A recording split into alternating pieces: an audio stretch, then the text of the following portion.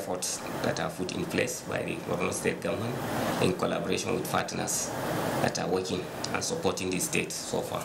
This development, if sustained, Borno State will be declared free from the virus as small batches of the much-needed vaccines are being expected to kickstart more phases of the exercise. In Maiduguri, Pauline Kujevana, NTA News. A sigh of relief for critical health workers and other category of first line of COVID-19 vaccine beneficiaries who waited for their turns to receive the second dose of the vaccine. Interestingly, President Muhammadu Buhari was among the pace setters who took the complete dose of the COVID-19 vaccine, with the second dose administered on him yesterday.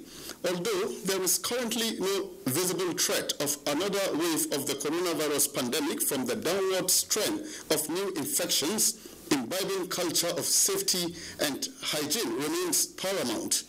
How is Borno faring in terms of vaccine response, storage, distribution, and administration, especially with the insecurity? With me to discuss issues around the COVID-19 vaccine second dose rollout is the Permanent Secretary, Borno State Ministry of Health, Dr. Mohammed Aminu Guluzi. Sir, it's a pleasure to have you join us on Panorama this afternoon. Thank you so much for having me. All right, sir.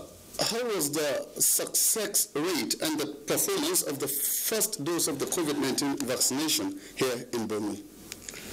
Thank you so much. Uh, here in Borno State, uh, the first dose uh, of COVID-19 vaccination was very successful, having achieved 91% coverage of the targeted population. Um, what this means is that 91% of the frontline and other health workers, including also the strategic leaders, have been vaccinated. Uh, they have received their first uh, vaccines. And uh, this has been attributable to the fact that a lot of effort has been put in place to sensitize and advocate for this vaccination. So we have achieved a huge success uh, with 91% coverage. Okay, that's great. Yes. Now tell us, what measures were put in place by relevant health uh, you know, agencies to save storage of the vaccines for the second dose administration? Well, um, the state government through the Ministry of Health and the State Primary Healthcare Development Agency uh, has put in place system of cold chain equipment uh, at various levels. Uh, we have uh, one at the headquarters here in the APD unit of the State Ministry of Health. Uh, then we have three zonal cold stores, one at Monguno, Bama, and Biu, uh, where we call the walk-in cold rooms. We also pre-positioned at um, ward levels what we call the ward uh, health facility solar direct drive. And uh, in, at each of these centers, that the vaccines are kept at the standard recommended by WHO for vaccines, not just the COVID-19 vaccines, but all our vaccines are potent and safe for utilization. So that is what we did uh, for to keep these vaccines for the second uh, doses. Hmm. That's interesting indeed. Now, doctor, what procedures are, are in place to ensure clinical and timely second dose vaccination as well as assurances of vaccine safety? Uh, well, uh, we have made an, a, a, number of factors to ensure that uh, compliance is met. Um, we pre-positioned and trained uh, health workers and uh, with technical skills and technical know-how uh, about the vaccines. And from these trained health workers, we constituted them into various teams which were sent to the local government areas. Mm. That is one. Number two, we also sent vaccines to vaccine sites or vaccination sites. Three, we ensured that both hard copy and electronic copies of registers were kept. So we know who are to receive the vaccines for the second time. So those records are there. And then the third, the, during the first dose, we educated those who received the vaccine for the need to receive the second vaccine. So education was one of the methods used. And of course, also we educated them on the um, adverse events following immunization. What to report and where to report to. These are the measures we put in place to ensure that the second dose will be a huge success too. Okay, Yes. that's great. Now, Permanent Secretary, Minister of Health, what measures are being taken to ensure sustenance of awareness on the non-pharmaceutical uh, safety protocols for COVID-19 as we await more vaccine supply and prevent a resurgence of the unpredictable health challenge? Okay, thank you so much for this question. Um, Borno State government, uh, through the agencies, relevant agencies, have continued uh, to step up the enlightenment campaign through uh, various uh, means, including the uh, social and uh, other media, but like uh, the NTA and other very important uh, means of dissemination of information. We also involve um, the public uh, enlightenment, uh, particularly where there is huge gatherings that are going on. So what we did to ensure that this compliance is achieved is we provided uh, washing points, uh, wash hand points in various places like the hospitals, offices, and public uh, uh, places uh, with uh, soap and water and uh, other, particularly the liquid soap. And then hand sanitizers have also been distributed. We had had uh, mass distribution of masks to the public and uh, hospital workers.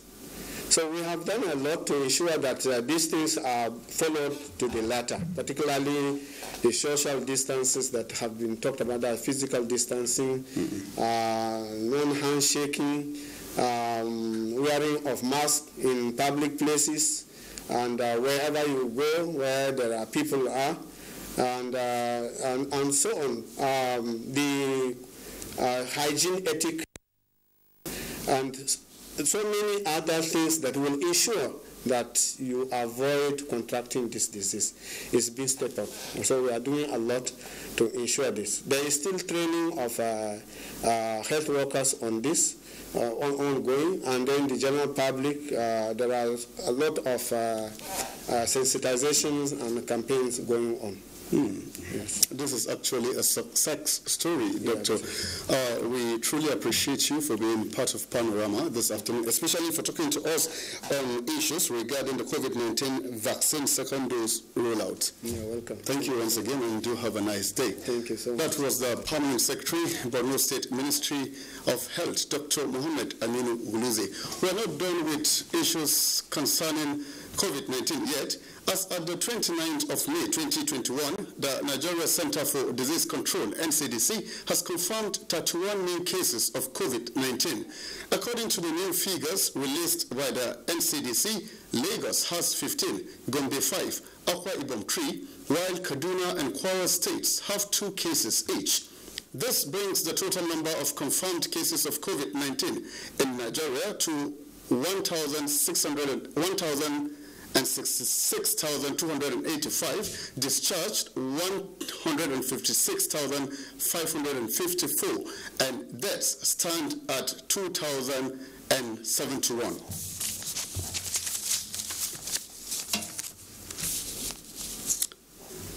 Let's take a break now. Panorama returns shortly.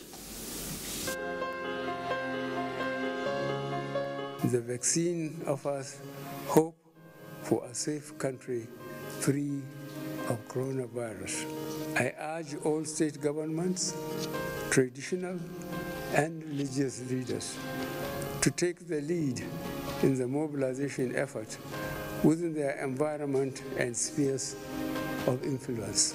I similarly urge all eligible Nigerians to present themselves and be vaccinated in accordance with the order of priority already mapped out at the various authorized designated centers only.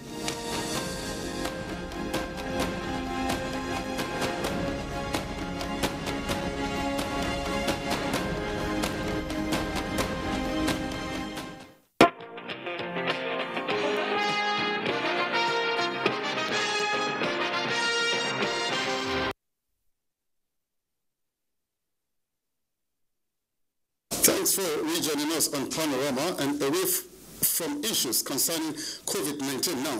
Work on the Kaduna-Kano Standard Gauge rail line will commence in July this year.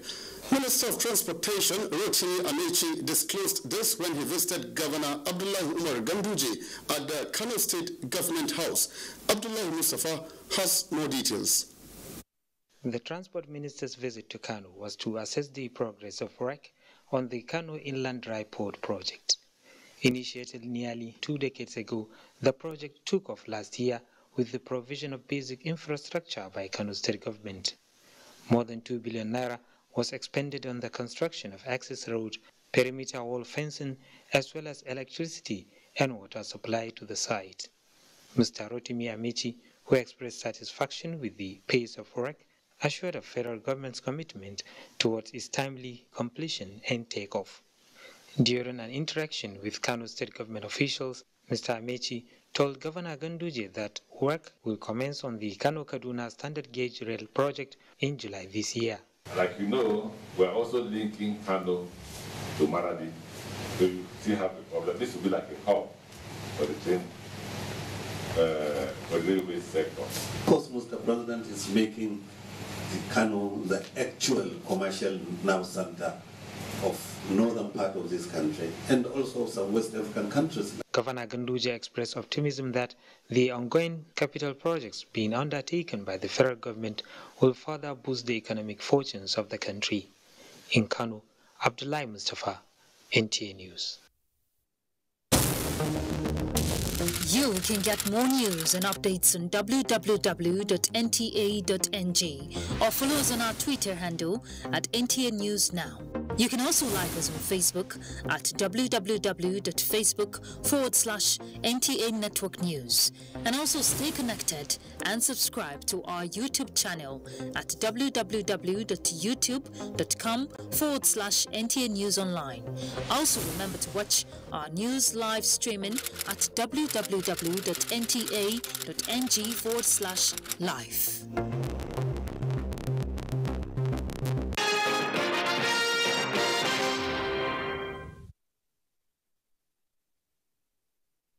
Fourteen of the students abducted by bandits in Greenfield University have regained freedom. Mohammed Umar Ajingi reports that they were released last Saturday evening by their abductors in a location near the university along Kaduna, Abuja. With hearts full of joy, the parents reunite with their children who have been in captivity since April 20th.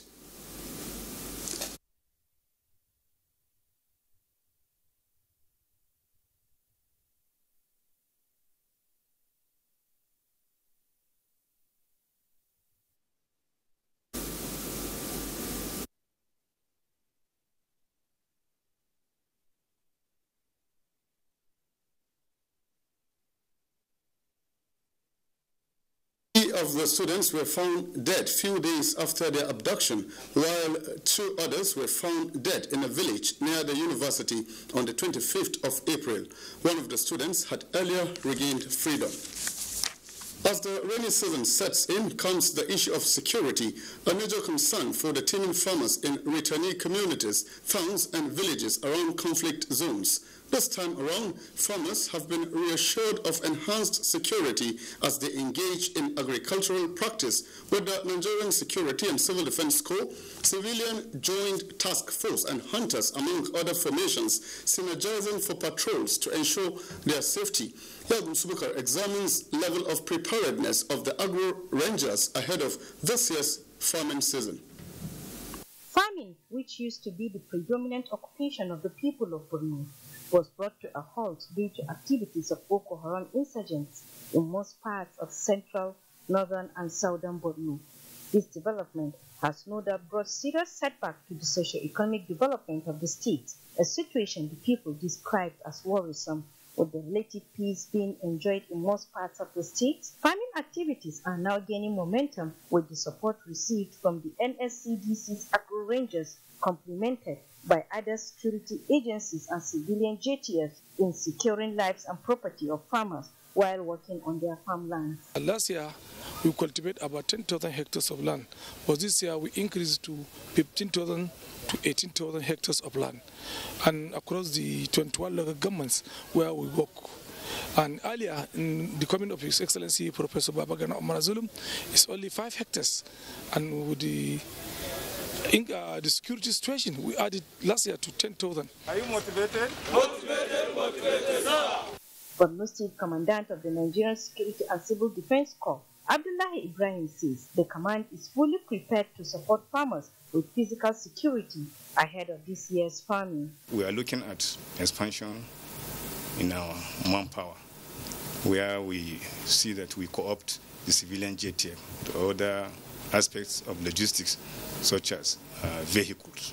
So as soon as those things are on ground, definitely will expand to those areas. He further revealed that the command, in its quest to enhance has introduced the use of modern technology into the activities of agro rangers by the use of drone, all in an effort to ensure food security and sufficiency this year's farming season in Borno State. The introduction of agro rangers by the federal government in 2019 has no doubt built more confidence in farmers, thereby making them return to farmlands in areas considered safe in Borno State.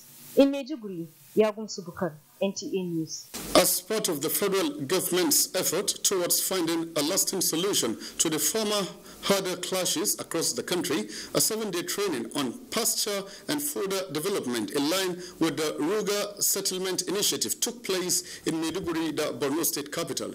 The program, a pilot scheme of the Federal Ministry of Agriculture, targeted 120 pastoralist communities in two local government areas of Borno. Nurjanat Hassan will now tell us more. The training, which is in line with activities of Ruga, is an initiative of President Muhammadu Buhari's late administration under the Federal Ministry of Agriculture with Borno, Katsina, and Niger as pilot states. Director, of Federal Ministry of Agriculture in Borno, Bukar Musa said the program is targeting training of pastoralists on how best to produce healthy animals, milk, and meat as well by using modern ways of rearing animals. We have targeted the farming families that have uh, suffered loss of uh, Uh, livestock and livelihood as a result of the insurgency. Borno State Commissioner, Minister of Animals and Fisheries Development, Comrade Juliana Bitrus, commended President Muhammadu Buhari for supporting Borno to have grazing areas in Mafa, Askira, and Tamshikau in northern Borno. By the time they are, they are settled in the Ruga, we will know that it's going to be a community and uh, it is going to add value to Mafa town itself. Special advisor to the governor on animal resources and coordinator Ruga projects, Tijani Gwani Muhammad welcomed commended the foresight of Professor Zulum and all stakeholders involved in the initiative said the participants will be settled in rural communities after the training. According to him, they will be provided with social amenities, animals, veterinary clinics, as well as cash support. Chairman Mafa Local Government Council Abacha Kago assured to sustain the program. Some beneficiaries of the training lauded both the federal and state governments for providing them opportunities to boost their economic situation. Resource persons at the training dwells on importance of pasture in livestock production and pasture management in Maiduguri. Murjana Hassan, NTA News. just before we leave you, do remember to always stand with the Nigerian Television Authority against rape and rapists. Be a star in that regard.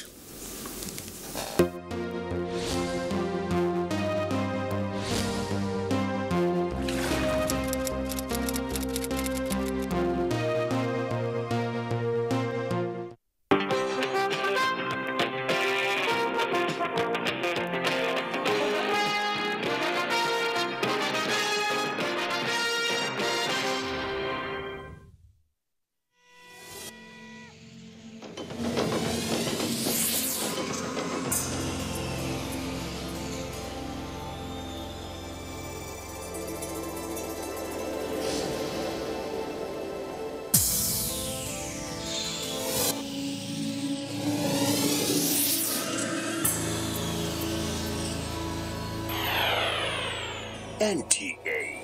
You can't beat the rich.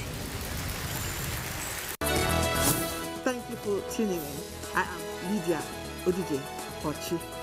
Ignatius Nkwo for Deadline 360. In Kano, Fatima Sanusi Karaye, Deadline 360. A closer system of government to the people over the years, observers say, has been involved in several.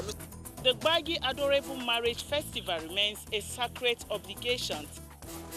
For Deadline 360, Justina Etam.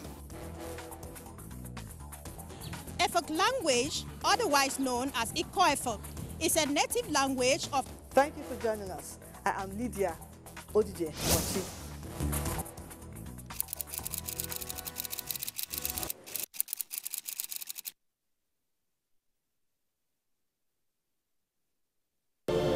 These days, people get their news and information from more media sources than ever before.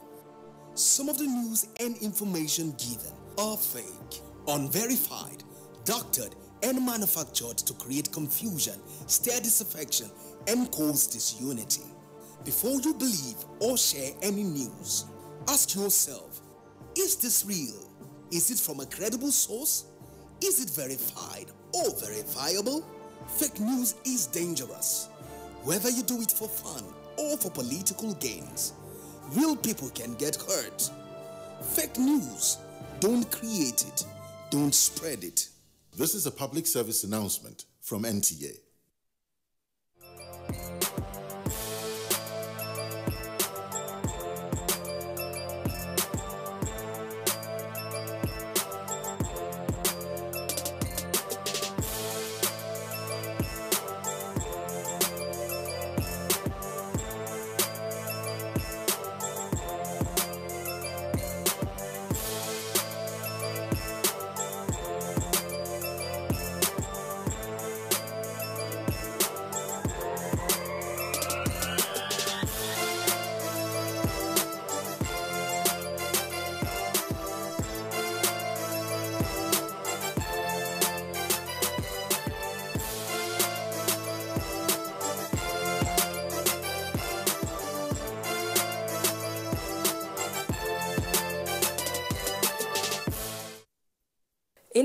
Inasmuch as there is life, there is always a reason to celebrate one event or the other.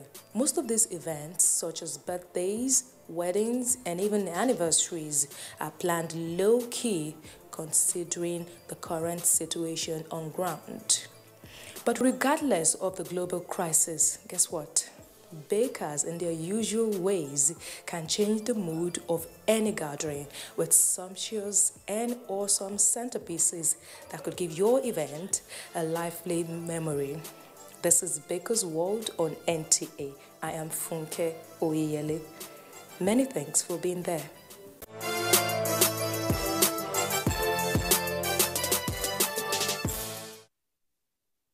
This episode of Baker's World offers you a versatile and easy to make cake recipe that you will love to try. Our baker today is a retired educationist whose passion for cake making is unbeatable. You'll get to know more about her in our conversation bit. I'm pretty sure her story will inspire you. Also, we have baker's gists and more for you on the program. You just relax and watch as we are set to educate, inform, and inspire you.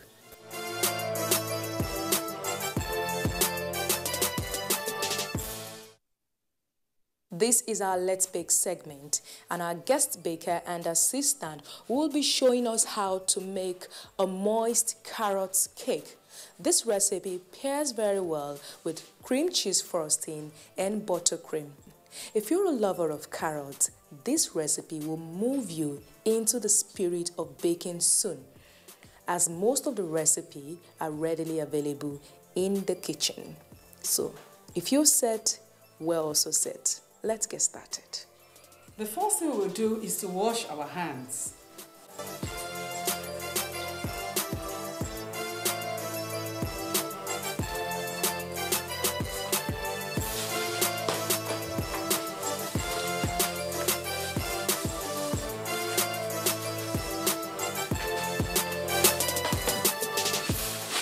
Now we are going to on uh, preheat our oven to 180 degrees centigrade or 350 Fahrenheit. Now the next thing to do is to line our pan.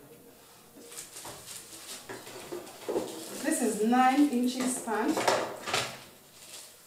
She's going to teach us how to thoroughly line our pans. We're starting by putting our eggs inside the mixer. We are just going to mix it for one minute. The essence is just to break the uh, yolk.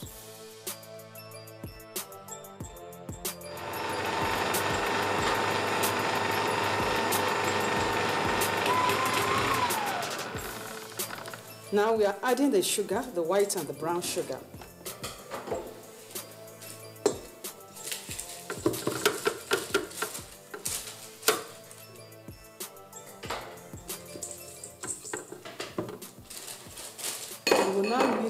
For four minutes for it to be thick and fluffy.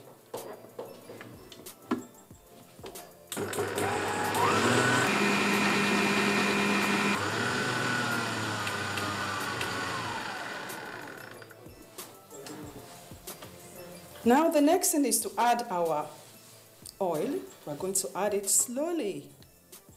We are adding two teaspoons of vanilla to give it a good flavor.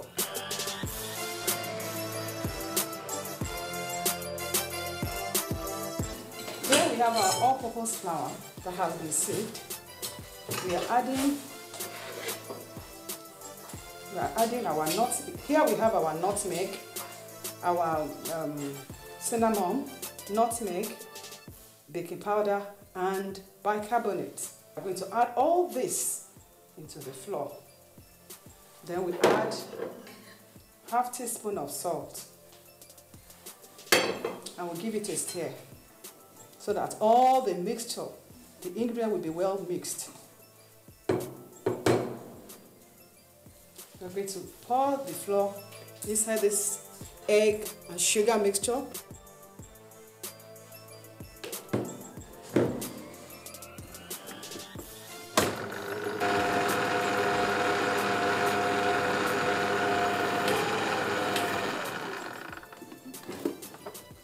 I'm going to scrape down the side of the bowl so that the flour will mix, the whole thing will mix gradually together. They will be well combined. So I'm adding the last batch of my flour.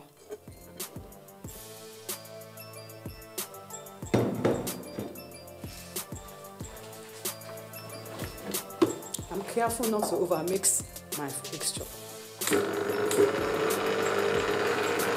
The next thing I want to do now is to pour my carrots right into the mixture.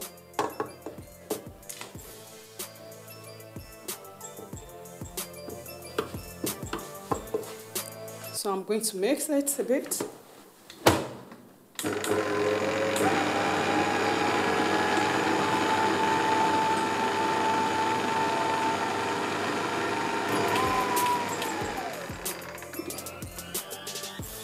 Lastly, I'm adding my nuts.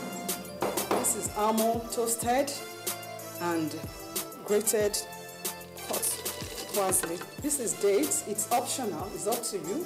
Then I mix it for the last time.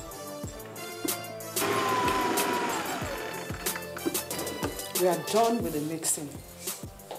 I'm trying to mix the whole batter together so that the, all the ingredients will be well combined.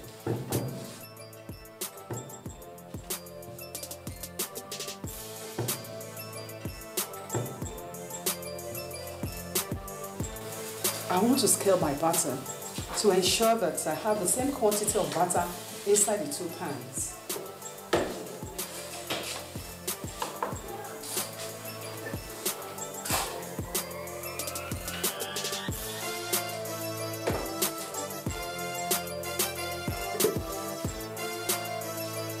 So I'm going to give it a tap to let out the air that has been trapped in. To ensure that is well leveled. Now our cake is going straight into the oven for about 30 to 40 minutes. While our batter is baking, we'll take a short break here and when we return, we'll be having a chat with our guest baker.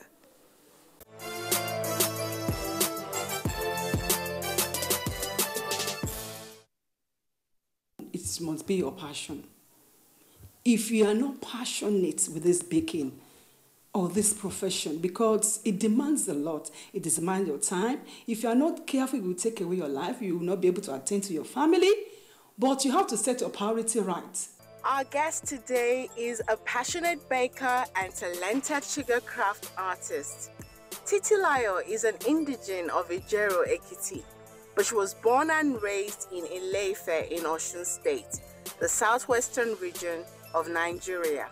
This gentle and amiable grandmother is a graduate of the University of Ileife, now Obafemi Awolowo University, where she obtained a degree in biology education in 1985. In 1986, Titilayo Olobayo proceeded to the Premier University of Ibadan, Oyo State, where she bagged a master's degree in early child education. Titilayo Olobayo's journey in the cake world started after her second degree in 1988. She developed a passion for making different confectionery products she could lay her hands on. This unstoppable baker found herself getting professional trainings and courses in the art of cake making and decorations. Titilayo Olobayo is a wife and mother of three children. She is the founder and CEO of Spoons and Cakes. Join us as we welcome our guest baker for the day, Titilayo Olobayo. You're welcome back. You're still watching Baker's World on NTA. I have with me an amiable baker, a very passionate woman. She's here with me today. You're welcome, madam. Thank you very much. It's so rare to find such an elderly woman like you still baking at this stage. So I have to ask you, how did you get started in this business and what has kept you going till this moment? A few months to my marriage, and I thought, ah, let me learn how to bake cake. Let me know how to make snacks so that I'll be a blessing to my family and make them happy. So I started. I went for a few a course in baking, and I just fell in love with baking. And I said, okay, let me just go all the way.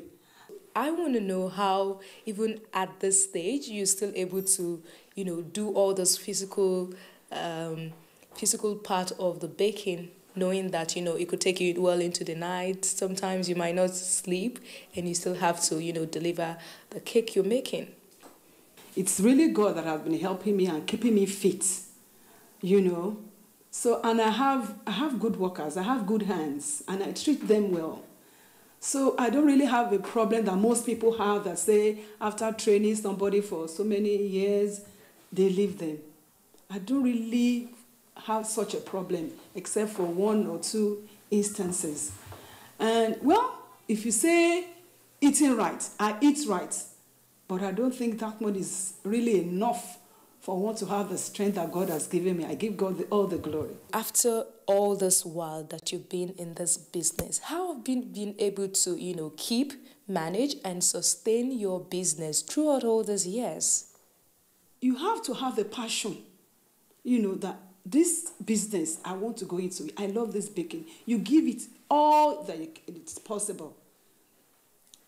Another thing is that you have to go for training because there are new innovations, new skills that you have to acquire to keep you going. so that you'll be able to sustain your customers. So that is, is very important. Now, each time a challenge, and it's also important to have, you know, somebody that you can look up to, somebody that can be your mentor. Because if you have a mentor and in time, time of challenges, you go to that mentor, that mentor will be able to put you right and you'll be able to increase the knowledge of this business rapidly.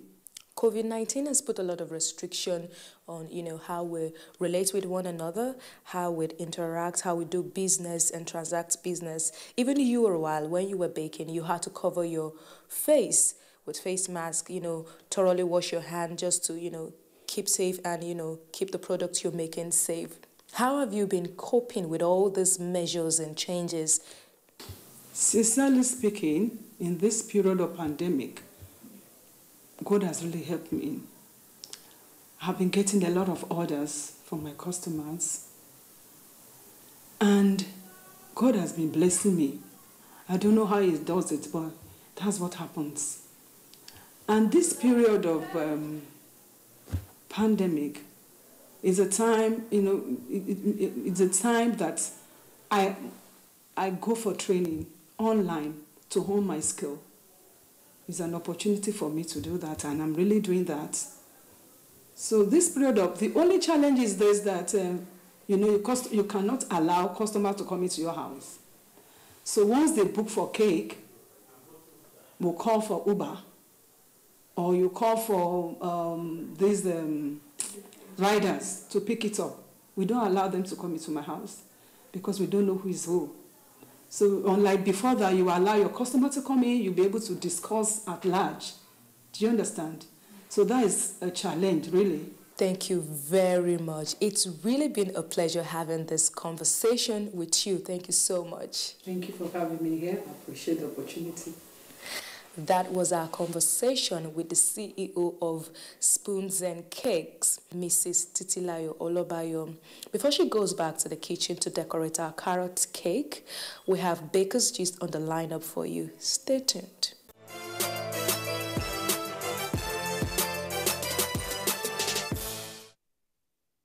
The health havoc occasioned by COVID-19 across the globe has taught humanity great lessons Part of these are new ways of going about our businesses. Baker's Gist Today offers some new normals that can sustain your cake business as the pandemic continues. One of the things this set of people in this business, now I think this is what we can do.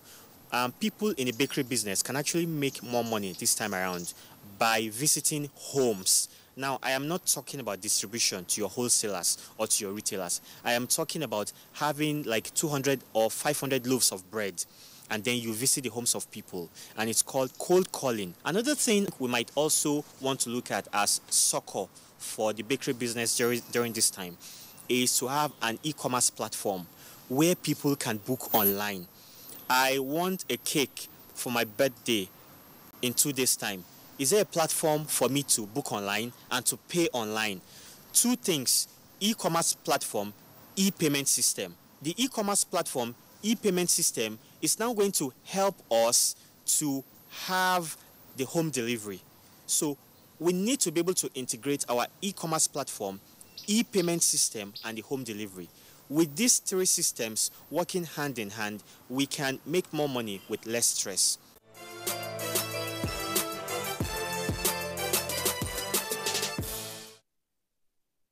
Cake is ready. It has been thoroughly baked. We now want to decorate it. And so we want to make our cream cheese frosting. So the first thing we are adding, putting it to the mixer. You can use your hand mix if you don't have a standing mixer. And we are using the um, paddle attachment. So I'm pouring the cream cheese.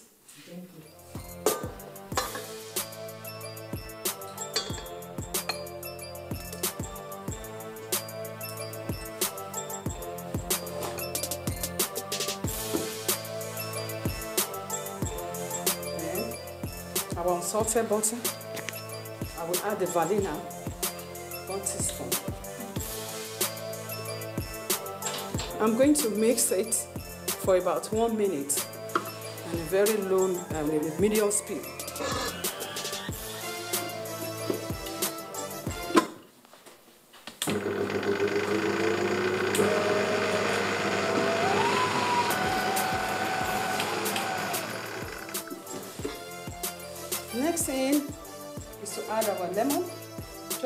Teaspoon of lemon.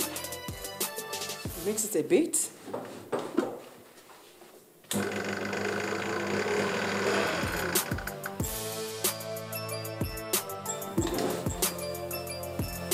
The last but not the least, the icing sugar. It's 500 grams. So I will add it gradually.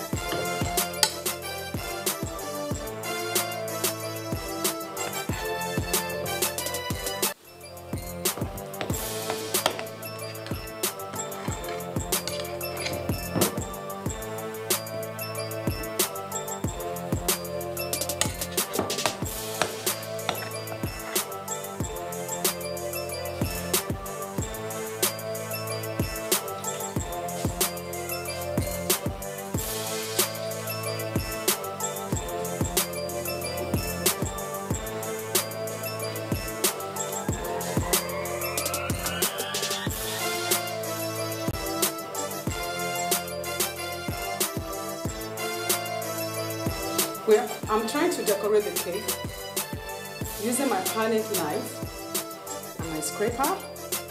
So I'm trying to smooth this, the top of the cake now.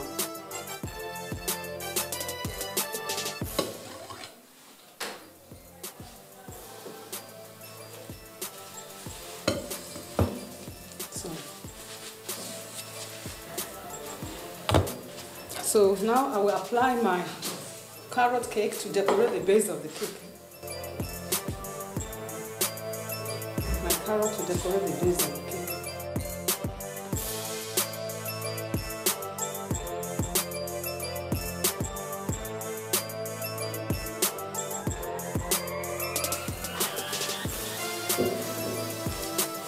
Now we're going to decorate the top of the cake with uh, still with the buttercream and we are using apple, the red and the green apple in between the design I'm going to make on the cake.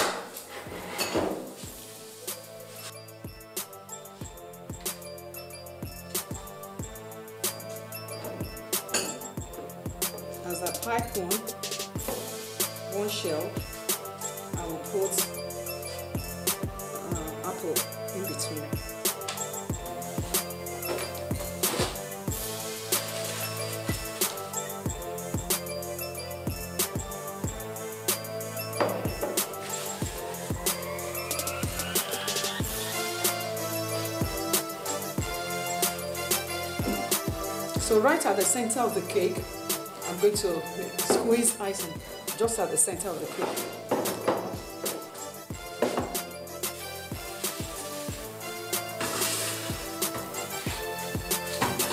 Then I'm going to beautify it with um, almond, grated almond, finely grated almond.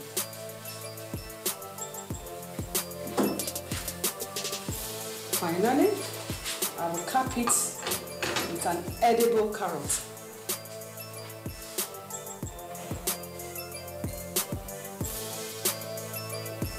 There you have our decorated carrot cake, two layered cake. The filling is cream cheese.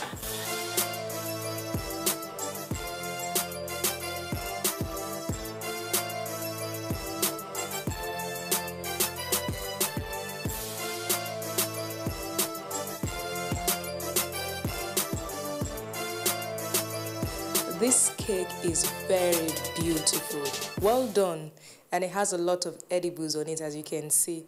Green apple, also red apple. Good job, ma. Well done.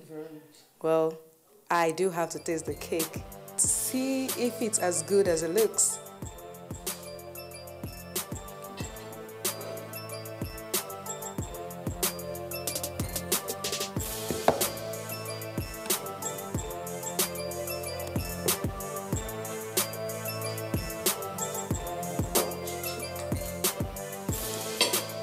The look of it, the cake looks moist, very moist. It's soft, it's almost shaking on the roots.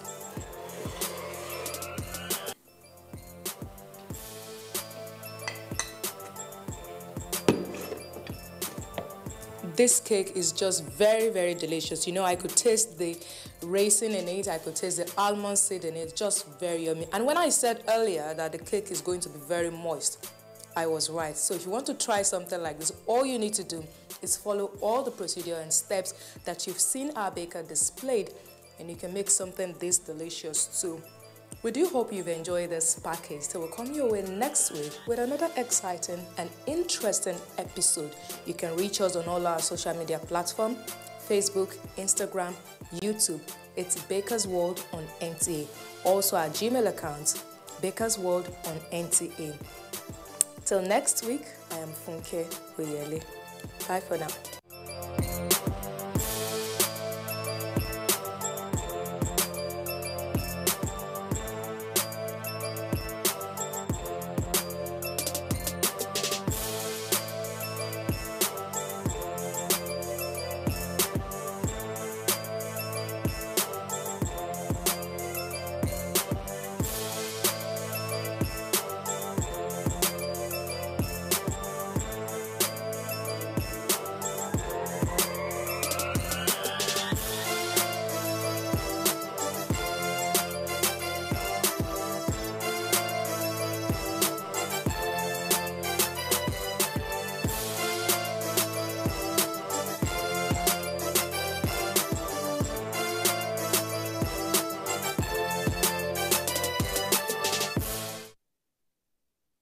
Every celebration.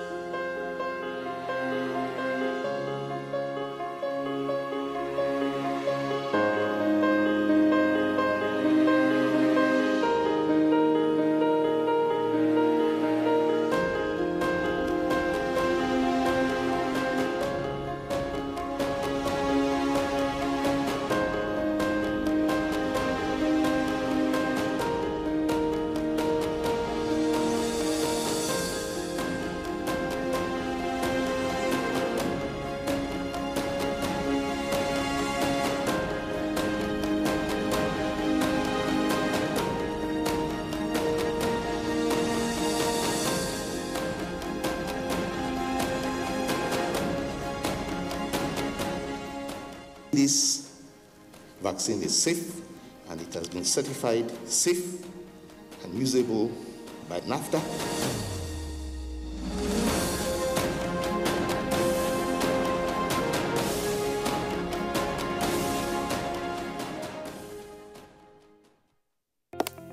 Although social media as a channel of communication is inherently harmless, it becomes harmful and damaging when used without